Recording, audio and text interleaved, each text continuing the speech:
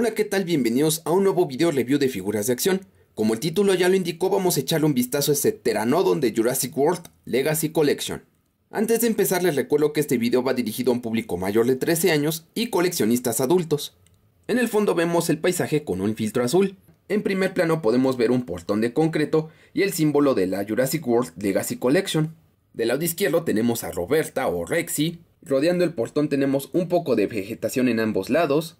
Tenemos a la figura totalmente expuesta, con este señalamiento para que lo probemos. Debajo aparece el nombre junto a la recomendación de edad, y en este recuadro una ilustración de lo que hace, de su característica de acción. En ambos lados del cartón tenemos el logo de la Legacy Collection.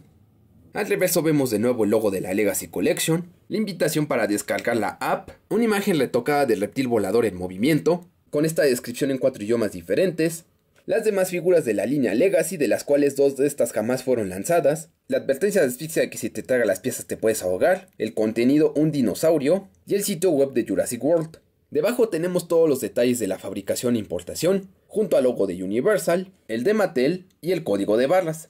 A juzgar por los colores, la especie y su aspecto, podemos inferir que se trata de un reptil volador de Jurassic Park 3. Y ya que hablamos del empaque, podemos quitarle esta a la figura y verla más detalladamente. Al menos cuatro pteranodons adultos y sus crías siguieron contenidos en el aviario de Isla Sorna durante la evacuación necesaria por el huracán Clarissa.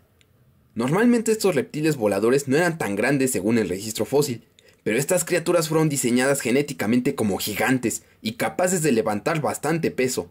El grupo de Alan Grant fue sorprendido por estas criaturas mientras intentaban bajar al río cruzando el aviario, uno de ellos capturó a Eric Kirby, quien estuvo a punto de ser comida para sus bebés, de no ser por el oportuno rescate de Billy Brennan en su paracaídas, casi a costa de su vida. Por un descuido lograron escapar de la isla llegando hasta Canadá, donde fueron eliminados por Vic Hoskins y su equipo de la División de Seguridad de Ingen, valiéndole ser contratado para la seguridad de Jurassic World.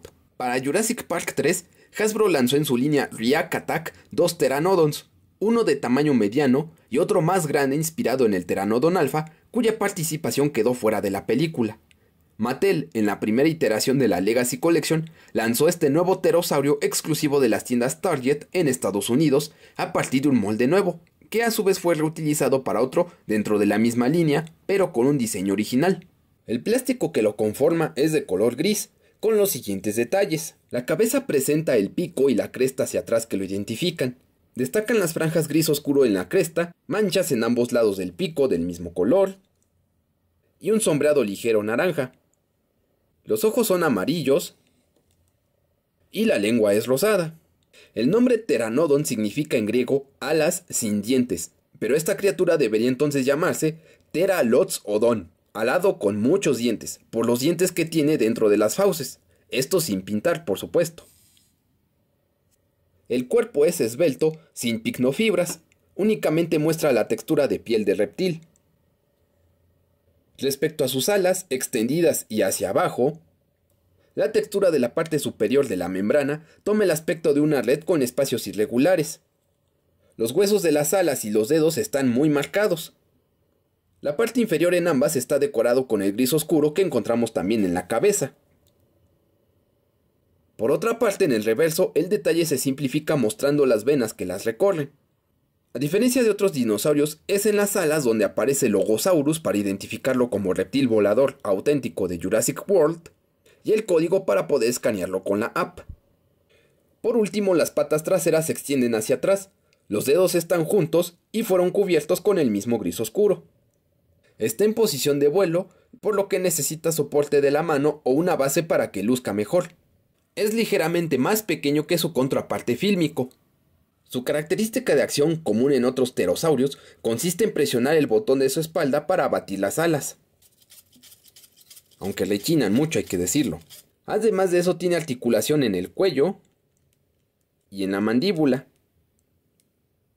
Esta figura nos demostró el buen trabajo que ha hecho Mattel con la línea de Jurassic World. No obstante hay que notar lo limitado de sus poses y el tamaño un poco más pequeño pero sin duda el inconveniente más obvio es que los colores no corresponden totalmente a como se vio en el filme, que era más bien café o en el caso del Pteranodon alfa, azul. Curiosamente su contraparte la Amber Collection posee un mejor color. Sin embargo, este es un Pteranodon que no querrán dejar pasar para incluirlo con sus compañeros de Jurassic Park 3, que no son muchos. Lamentablemente, el venir solo uno por caja y tener una distribución limitada lo han hecho algo raro de ver, pero el precio no es tan elevado si quieren conseguir uno. Y esto ha sido todo por ahora, espero como siempre que este video les haya gustado y sobre todo les haya sido útil. Les recuerdo suscribirse si no lo hacen, revisar mis demás videos y seguirme en mis redes. Yo me despido y nos vemos en otro video.